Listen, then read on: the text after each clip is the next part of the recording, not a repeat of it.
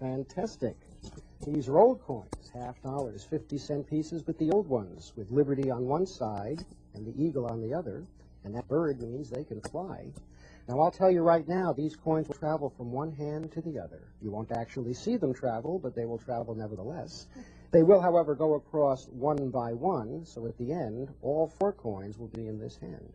Now, I do this four times, so you have four chances to watch the magic, watch the coins, watch my hands. They come close. When I wiggle my thumbs, however, one coin travels from one hand to the other.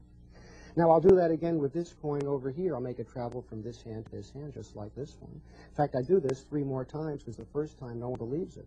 Watch the coins. You'll never see it, but if you listen, you can hear the second one go, and that's two and two.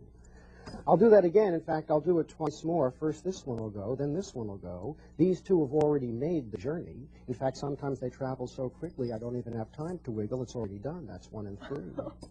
Now, I need your help for the last one, Corrine. Would you hold out your right hand for me? Thanks a lot. How many coins do I have? You have four. And how many coins do you have? I have none. I'll take one, you hold the others, turn your hand over, don't let them get out.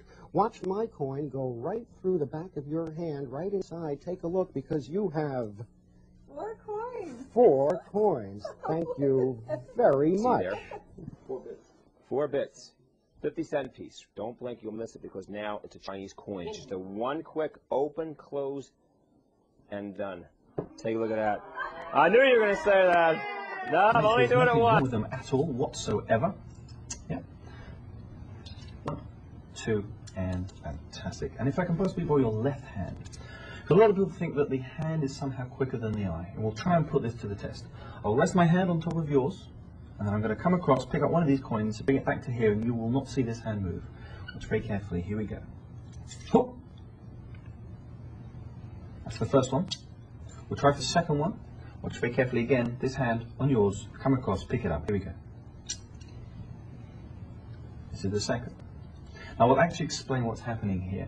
You're waiting for this hand to come across. What's really happening is this hand is moving so fast. I'll, I'll show you. It's coming across, placing it into your hand, and then coming back again so quickly you didn't see it move.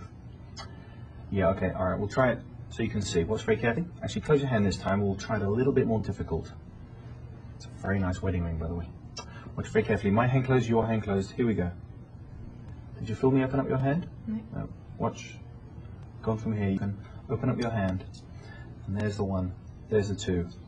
And there's the three. Before I begin, I want you to examine everything that we're going to be using. There's a few half dollars. Make sure that these half dollars are real coins, that they don't have trapdoors or rubber bands or gimmicks or mirrors or any of that typical magic stuff.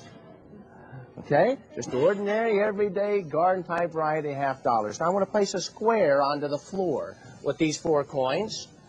And before I perform, let me give you a little background on this effect. You know, magicians hang out together. A lot of people don't realize how tight a grapevine magic is. Uh, but we always go out together, we show each other tricks. We even develop tricks just to fool each other. Now, for about 17, 18 years, this is the trick that I've used to fool other magicians whenever we got together. Typically, we'll go out together and we'll be showing each other tricks. Maybe it's midnight and everybody's about to fall asleep. And I'll say, well, how about one more trick? And this will be the trick that I'd always do. So I've done it for magicians now in 27 different countries, and they've written me letters guessing how it's done. I'll tell you what they guess. The first thing they guess is that I've got six or seven coins. Okay, on my honor, my word of honor, I only use these. The second thing that they guess is that I got some kind of a sticky stuff on my hands. There's no glue or bondini or any fancy stuff on my hands. The third thing that they guess is that I got an extension that comes out of my sleeve that makes the trick work. Now it sounds crazy, but I want to roll back my sleeves just to show you that I've got nothing up my sleeves except my elbow, and that's just a birthmark.